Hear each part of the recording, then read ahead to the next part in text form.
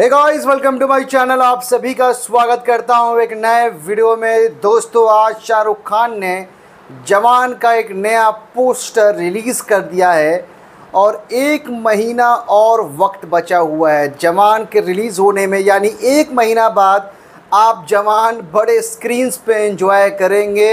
एक महीने बाद, यानी इस एक महीने में जवान के कंटेंट भर भर के आएँगे। अगर हम बात करें पोस्टर के बारे में तो पोस्टर का कलर थोड़ा सा अलग है और मुझे लगता है कि रेड चिलीज़ या फिर शाहरुख खान टाइम पास कर रहे हैं। जैसे जैसे सोशल मीडिया के जो पोस्टर होते हैं ना, वो दे रहे फ़िल्म का मेन पोस्टर अभी भी आना बाकी है। जो फ़िल्म का मेन पोस्टर है, वो आना बाकी है। मुझे लगता है कि जिस दिन ट्रेलर रिलीज़ होगा, उसी दिन फ़िल्म का मेन पोस्टर रिलीज़ होगा। लेकिन अगर हम इस पोस्टर के बारे में बात करें तो शाहरुख खान के हाथ में गन और अगर हम बैक देखें तो शाहरुख खान पट्टी बांधे हुए नज़र आ रहे हैं। यानी दो दो शाहरुख खान, दो लुक आपको पोस्टर में नज़र आ रहे हैं और शाहरुख खान का डेविल लुक खतरनाक एक्सप्रेशन इंटेंस आई पोस्टर को बहुत ज़बरदस्त बना देती है मास बना देती है।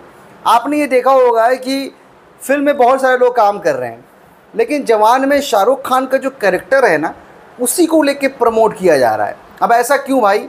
शाहरुख खान को लेके, इस कैरेक्टर को लेके सबसे ज़्यादा प्रमोट किया जा रहा है। अब इतना खतरनाक कैरेक्टर ये बना दिए हैं, ताकि वो उसी कैरेक्टर को प्रमोट कर रहे हैं। पोस्टर फैंस को 100 परसेंट पसंद आएगा, लेकिन ये पोस्टर सिनेमाघर में कहीं किसी कोने में नज़र आएगा।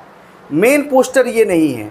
मेन पोस्टर आएगा ट्रेलर वाले दिन, जो आपको सिनेमा घर के बाहर लगाए जाएँगे। बड़ा बड़ा पोस्टर जो होता है ना बैनर पोस्टर उसका हमें इंतज़ार है कि वो पोस्टर कैसा होता है। तो कमेंट करके बताएँ कि आपको जवान का पोस्टर कितना पसंद आया। एक महीना वक्त बचा हुआ है, जवान के दूसरा गाना कभी भी रिलीज़ हो सकता है। जो भी जानकारी होगी मैं आपको बताऊँगा। जवान के स्टोरी के बारे में भी कुछ चीज़ें पता चली हैं, उसको लेके भी हम अगले वीडियो में बात कर सकते हैं। आप देखते रहे एफ़ न्यूज़ लाइक सब्सक्राइब करना बिल्कुल ना भूलें। Take care